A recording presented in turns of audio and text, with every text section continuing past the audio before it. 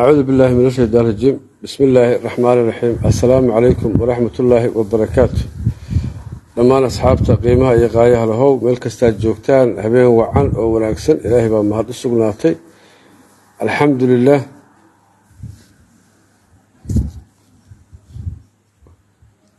soo dhowaada kulligiin. Waxaan rabnaa marka ugu horeysa inaan caawa aan farxadda iyo reereynta aan la qeybsanno dadkii halgamayaasha ahaa ee reer sool reer s c ayaan rabnaa inaan caawa la qeybsanno oo aan dhahno hambalyo. Guusha la gaaray inkastoo guusha weli ay dhiman tahay halganku weli uu dhiman yahay wax yar unbaa haray waxaan u malayhaa boqolkiiba toddobaatan natiijada waa la gaaray laakiin soddonka hare waxaan qabaa in loo adkaysto.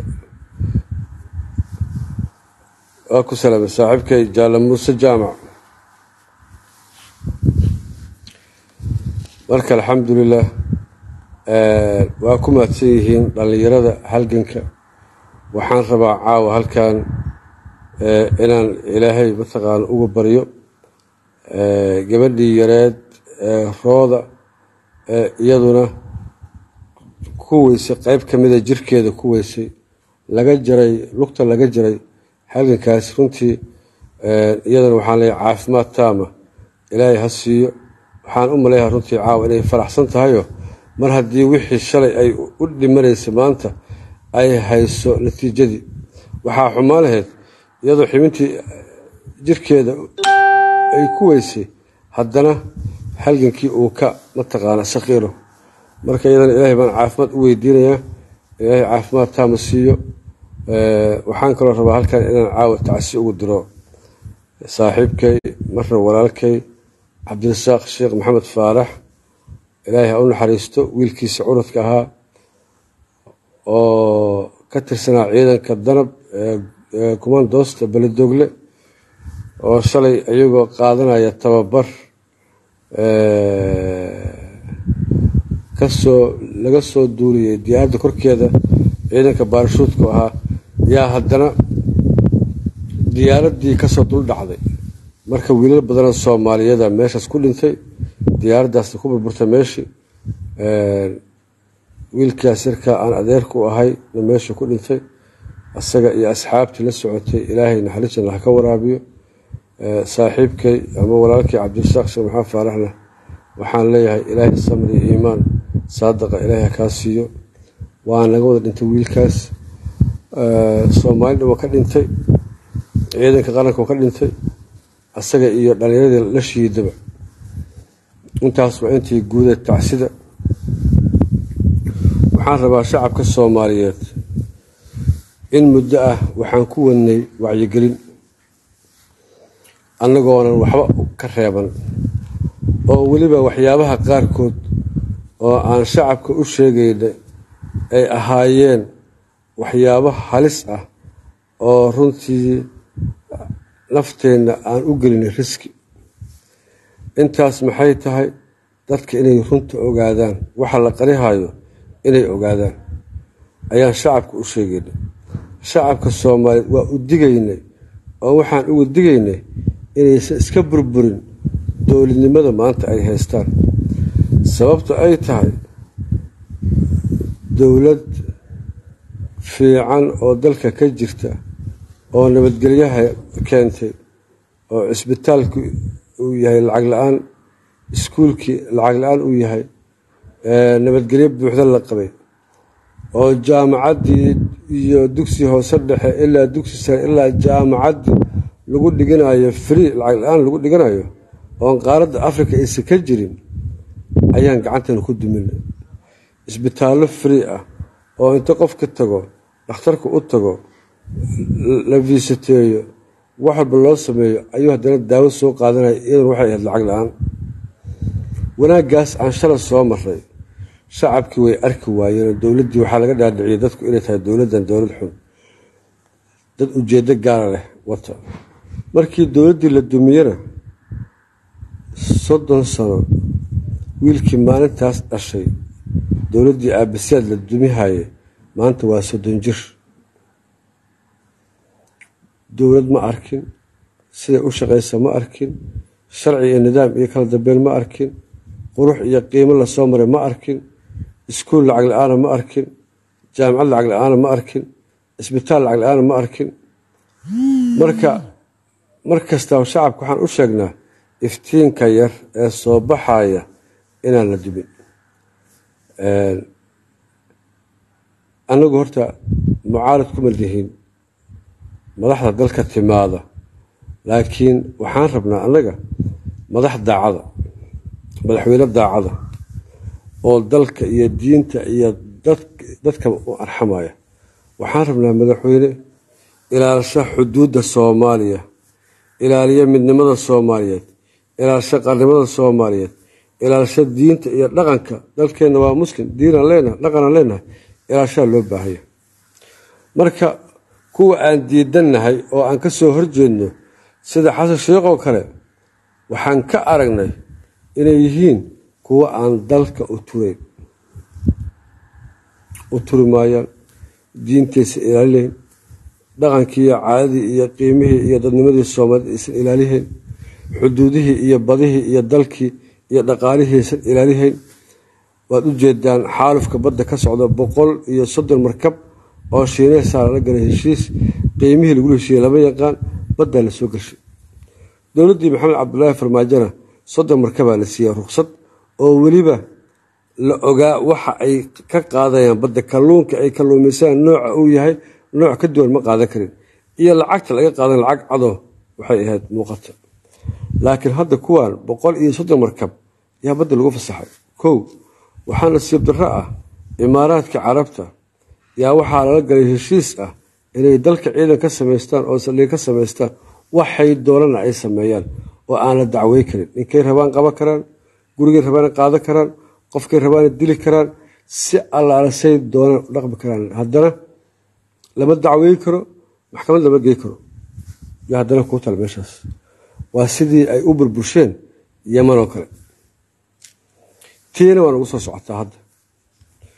Dadkeena marka waxaan ugu digaynaa oon u sheegi jirnay war ilaashada dowladda fiican. Farmaajo madaxweyne fiican oo daacada u ahaa dalkiisa iyo dadkiisa u adeega. Maalintuu yimid ilaa maalintuu baxayay ciidanka iyo shaqaalaha waxay qaadanayaan mushaarkooda joogto ah waxaad ogsoon tihiin inta nin ay u-nka u shaqeynayso danjiryaal ahay oo dalka laga racdeeyey markii lagu arkay qallaaso iyo dhibaato inay rabaan inta safiiro la ceeshay oo geed laysaga xiray amaradii beesha caalamka ee dalkeena ay ku gumeeyeen la diid ciidankii imaaraadka sameeyey oo la rabay in bulshada lagu dhammeeyo ood ogsoon tihiin in guriga cabdi qaybdid lagu weeraray la kala dir oo la racday waxaasoo dhan waxay ahaayeen waxaan markhaati aan ka nahay oo aan ognahay oo aan shacabka u sheegayn waxaan rabaa caawa inaan dadka dib u celiso soo xasuusiyo. Dowladdii waa lagu kacay. Qabiila loo soo maray. Waryaa hawiyaahay waryaa saalihay ekraana la dilay ekraana la dilay ekraana la dilay waa la afduubto farmaajaa dilo fahadyaasiina ka dambeeyo bababababa wixii oo dhan waxay ahayd musalsal been ah waana idiin sheegnay.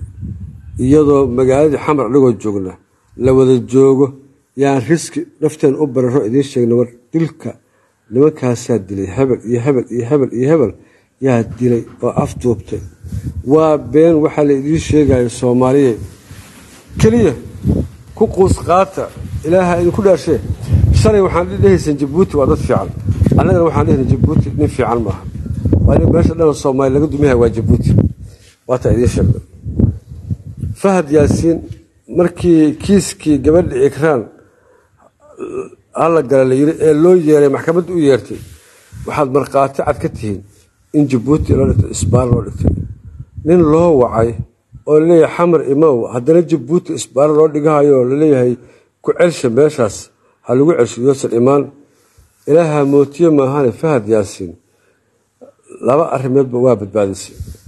Kow diyaaraddii turkish airways uu soo raacay lagala haray ee shirkadii diyaaradda ay diiday inay baxdo oo ay tiri rakaabkii aada naga dejiseen soo celiya ee ninkii baylotka ah uu ku mintiday. Kow dowladda soomaaliyeed ogaatay oo warqad meel kasta u dirtay caddeysay in taliyihii nabad sugidda soomaaliyeed jabuuti lagu haysto labadaas arrimood iskaashatay ayuu fahad yaasiin ku badbaado maahane?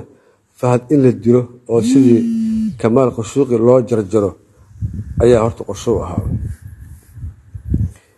Intaasna waxay ahaayeen kuwii dhibaatada geystay inaan la ogaan oo raadkaas la baaba-sho. Marka dadkeenna xilligaas u digayna laakiin maanta oo laga joogo laba sano ka hor kadib xilligaas dhacdu ay dhacday. Iyay dadku maanta wax ogaanayaan wax dhegeysahayaanu leeyihiin wallaahi waa run wallaahi waa run. Iyay maanta leeyihiin. Annaguna xilligaas idiin sheegna iyadoon cidi ogoleyn in laga hadlo arrintaas yaan ka hadalna oo aan shacabka soomaalied u sheegna marka waxaa leeyahay shacabku indhihiina fura wax kastoo laydiin sheego run yaan loo qaadan. Waxaa laydiin sheego iska dhinaan dhiri oo arka waad arkaysaan maanta weliyihii muumin cabdalla muumin dhibaatada lagu hayo markhaatada ka tihid. Kuwa hadda maanta dhibaya cabdalla muumin dhibaya ee marna xiraya marna soo deynaya marna cagta weydiisanaya. Marna hadda waa xeraya. Maxkamadaa la geeyey waa la soo daayay. Kuwa saas shaqadooda ay tahay ayaa shalay la dilay ikraantaa la dilay. Ayagaa afduubay ikraan dilay xabaalay qarsaday ayagoo rabaa inay dad ku kacshaan horan u sheegnay. War u a c markay xamar soo gelaysay oo ay xamar imaanaysay shacabka iyo dowladda waxaa layskula dilayaa waxay ahayd qof shacab ahaa inta la dilo yaa koofidii ciidanka mataqaana bulisiya militaarada yaa inta la ag dhigaa looga tagayo.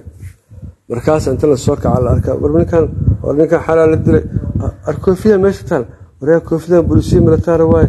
Wallaahi ciidanka maxamed saad barre waaye. Waa been. Jabhadii asaa sameynaysay waxayna ujeeddadu ahayd keliya in shacabka la kiciyo dadku inay kacaan ay bannaan baxaan oo dowladda ku kacaan yaa laga shaqeynaya. Tii oo kale ayaa hadda dowladdii farmaajo loo adeegsaday yaa loo adeegsaha shacabka soomaaliyeed oon waxba fahmayn farmaajaa dilay ikraan ikraan ikraan ikraan kuwii dilay waa kuwa maanta talada dalka gacanta ku haya waay kuwa maanta jooga taliyaha nabad sugidda madaxweynaha wasiirka wasiir ku-xigeenka waraafinta wasiirka arrimaha gudaha dadkaasaa kursi ku fuulay jagadaas ku helay maanta xasan sheekh iyo mahad salaad iyo alcadaala iyo fiqi jaanisay leeyihiin dalka ayagaa gacanta ku hayo madaxweyne ka ahoo maamulaayee kiiskii may soo bandhigaan may caddaynta u keenaan. Shalay maxaa uinta beenbeena iyo maro madaxa lagu xirto loo hayay maxamed xuseen rooble afkiisa wuxuu ku yidhi maaseja la ii soo diray. Waa ogah cidi dishay. Waa ka warqaba muxuu u soo bandhigi waaye muxuu u sheegi waaye waxaas waa been ayagaa dilay. Gabadhii kaleo xogta ogeydna waa qarxiyeen. Sheekada caawa doolow ka taagan. Ee ninka maskiinka wiilka halkaa lagu ceejiyey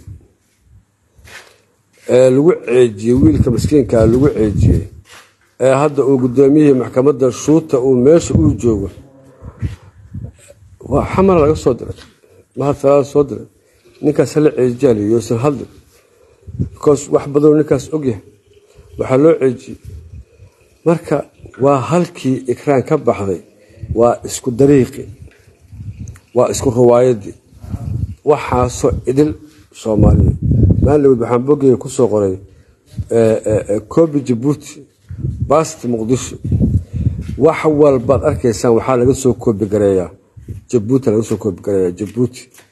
Jabuuti laga soo koobigareeyaa sababta ay tahay shacabka jabuuti say u dhiban yihiin oy u rafaadsan yihiin oo ninkaas ismaaciil umargel u rafaadiyey ayaa la rabaa shacabka muqdisho jooga in loo rafaadiyo